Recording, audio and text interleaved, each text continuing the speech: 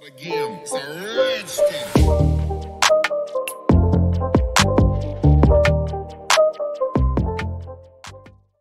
is going on guys? Welcome to this new tutorial series on NeuralNine about C++ programming. A couple of days ago I made a poll on YouTube where I asked you which programming language would you be most interested in for a new tutorial series and I offered choices like Java, JavaScript, R, Go and C, C++. And the number one choice from you guys was C, C++, but since there are two separate languages, even though they're often combined in rankings and so on, um, I made a second poll where I asked you, do you want to see a C tutorial series or a C++ tutorial series?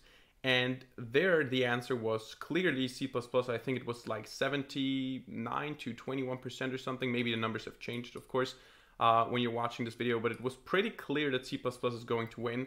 And this is why we make this tutorial series right now. And this is the first episode, the introduction episode, where we're going to talk a little bit about C++ and this series in general and in the next video, we're going to do the installation. And after that, we're going to get into coding. So let us get right into the first introduction.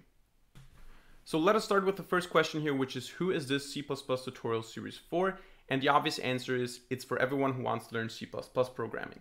But it is especially for everyone who wants to transition from a high level programming language to C++ or who wants to learn C++ in addition to the language that he or she already knows.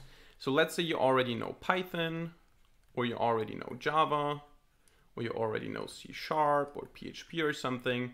Um, and now you want to learn C++ in addition to that. So you want to add C++ to your arsenal. Maybe you know one of those or multiple of those. And now you want to learn, uh, learn some uh, lower level programming skills. If you're in that category, if you belong to those people, this tutorial series is perfect for you because you already know basic programming, you know what loops are, you know what functions are, you know what return values are, data types, exception handling, classes, objects, and so on. And all you need to learn here is how to do those things in C++, and you need to add some concepts like pointers, templates, references, memory allocation, and so on, which is confusing in and of its own, but you already know the basics, and you don't need to worry about the basics except for maybe a change in syntax, right? Whereas if you're a complete newbie, if you've never coded in your life, the question is why are you learning C++ in the first place? So why are you learning C++ as the first language? I wouldn't say that this tutorial series is bad for you because it's bad for you. I would say that C++ is maybe not the right language for you. If you want to learn C++ for sure and you're convinced and there's no way that I can change your mind, you can watch this tutorial series. It will be fine because I will talk about the basic concepts. I will explain variables. I will explain data types and so on. Uh, I will not uh, say you need to already know this, but you have ev- everything that you're going to see is probably going to confuse you. Whereas if you at least know something like Python, you know what an integer is, what a boolean is, what a for loop is, what a, a, while loop is. And at least you're not going to be confused by that, but only by the notation or by the way it's written in C++. Whereas as a newbie, it's going to confuse you as a concept, and it's also going to confuse you uh, the way it's written and done in C++.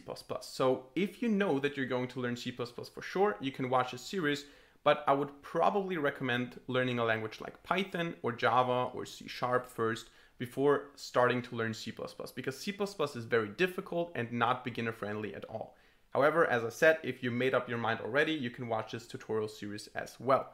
And then there's also another uh, category of people who are the C programmers. There are a lot of people who already know C and they want to learn C++ as uh, as an addition to C because C++ is object oriented, C is procedural, and so on. And uh, those guys also oftentimes want to learn C++. And even though you can watch this tutorial series if you're transitioning from C to C++, I think that it's going to be kind of boring to you because uh, you're going to encounter a lot of beginner concepts. If you're already a C programmer, you're actually operating on a lower level than C++. So you're already familiar with pointers and allocation of memory and uh, and all those low level things. And you're also familiar with loops and, and uh, data types. So you should probably watch a tutorial series that is focused on the differences between C and C++ and not a basic tutorial series like this one.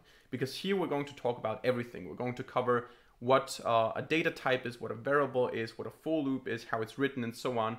So if you're transitioning from C to C++, you can definitely watch this tutorial series, but expect it to be um, very easy for you and maybe even boring for you. This series is perfect for people who are learning Python or who are already decent at Python and now want to transition to C++.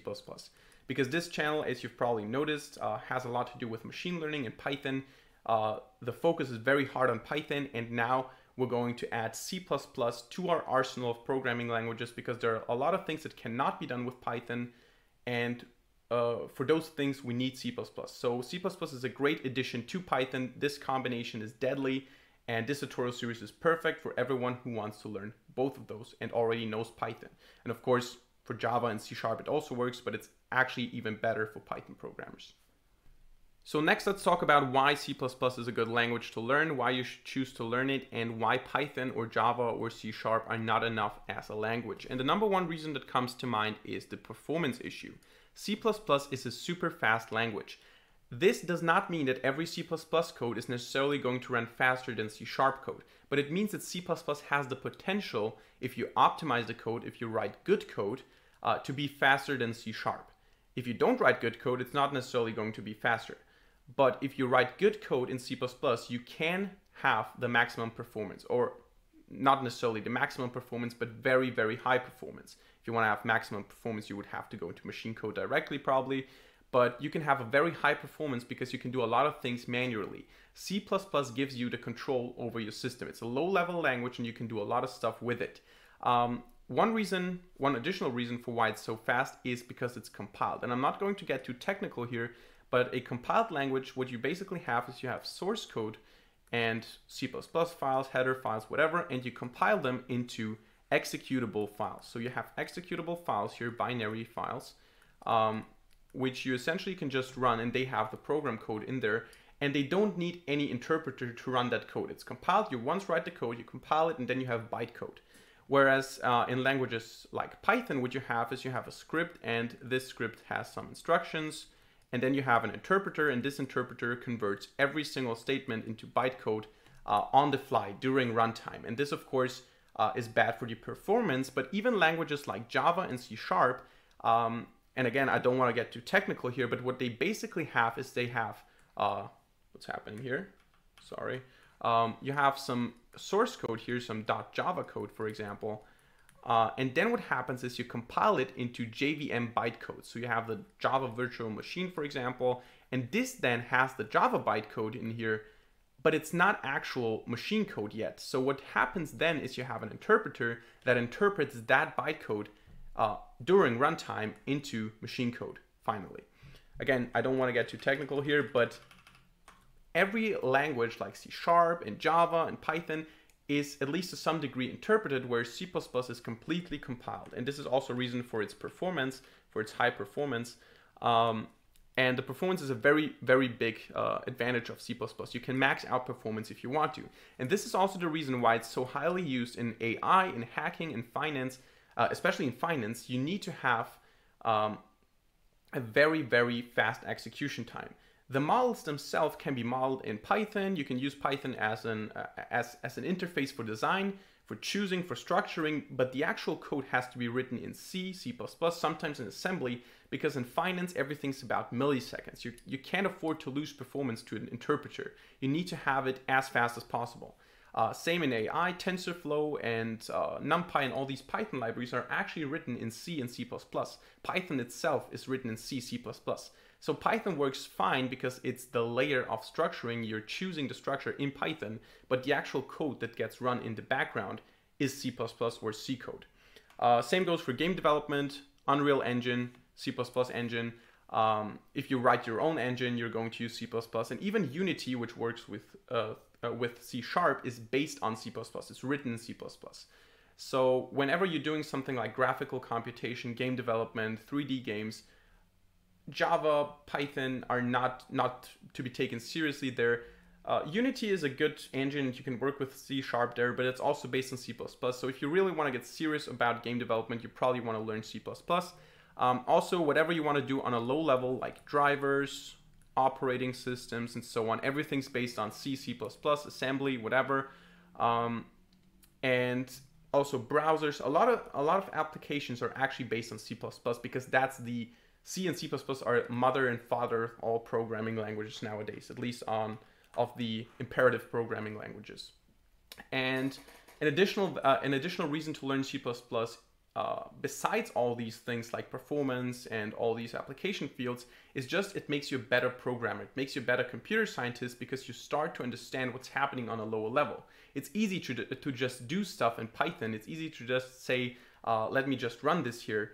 But in C++, you actually understand what you're doing. You actually have to do it manually. You have to allocate memory to free memory. memory. You have to work with pointers and templates and all that. You need to do these things manually, and you cannot just uh, call an interface that does everything for you.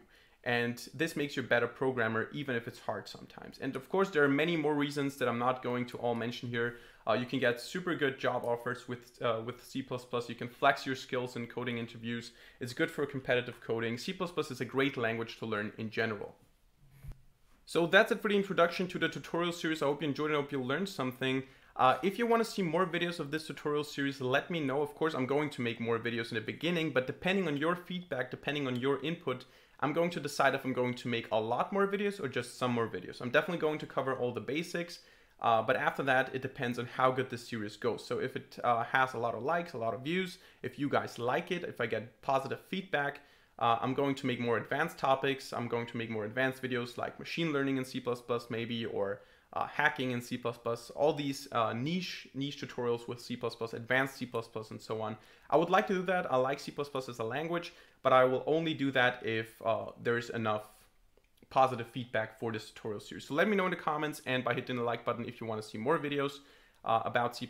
Also make sure you subscribe to this channel in order to see more future videos for free. And other than that, thank you very much for watching. See you in the next video and bye.